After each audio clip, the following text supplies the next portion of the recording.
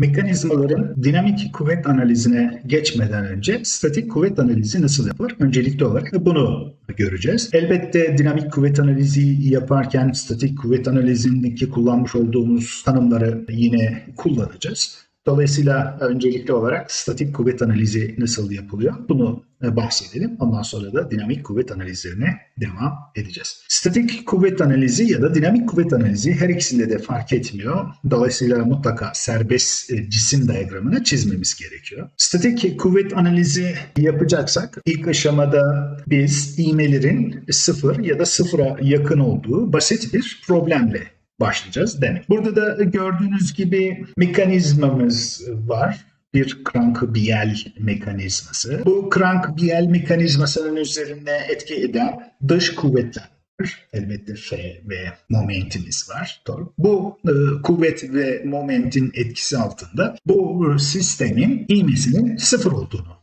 kabul ediyoruz. O zaman tüm kuvvetler ve momentler de sıfıra eşit olacaktır. Yani mekanizmamızı analiz ederken kullanacağımız denklemler toplam kuvvet eşittir sıfır ve toplam moment eşittir sıfır olacak demektir. Bu duruma biz statik durum diyoruz. Statik bir sistemin tüm alt bileşenleri de statiktir. Eğer sistem statik ise o zaman sistemin tüm alt bileşenleri örneğin 2 numaralı uzuv 3 numaralı uzuv ve 4 numaralı uzuv da statik olmak durumundadır. O halde yer uzvu statik olmak durumunda değildir. Dolayısıyla yer uzvuna etki eden kuvvetler ve momentlerin toplamının sıfır olma zorunluluğu yoktur. Bunu da parantez içerisinde belirtmiş olalım. Şimdi bu mekanizmayı artık basit, daha basit e, problemlere dönüştürebiliriz. Madem 2 numaralı uzuv, 3 numaralı uzuv ve 4 numaralı uzuv da statikse bu uzuvları bağlantılarından ayıracak olursak ki e, burada gördüğünüz gibi iki kinematik eleman birleşmiş. Burada yine iki kinematik eleman birleşmiş, iki kinematik eleman birleşmiş ve burada da yine iki kinematik eleman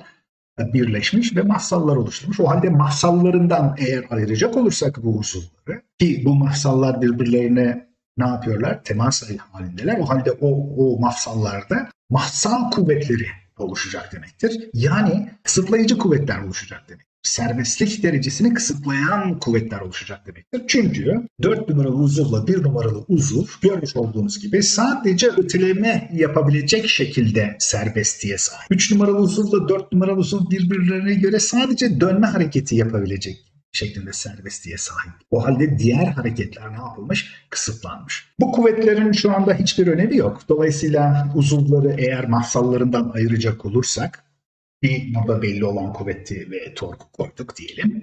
Bunun üzerinde bu noktada bir kuvvetimiz oluşacak demektir. Yine bir numaralı uzuvla dört numaralı uzuvun temas ettiği noktada bir kuvvet, burada bir kuvvet, burada kuvvetler ya da bilemiyoruz şu aşamada. Henüz bunları öğrenmedik, öyle söyleyelim.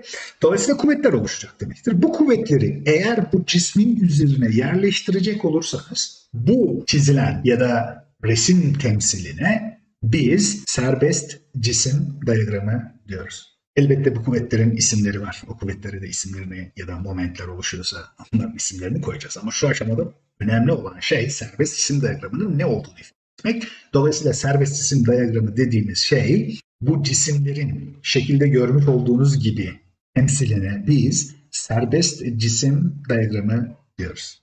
Bir kuvvet analizi yapmanız gerekiyor ise mutlaka serbest cisim diyagramını çizmeniz gerekiyor.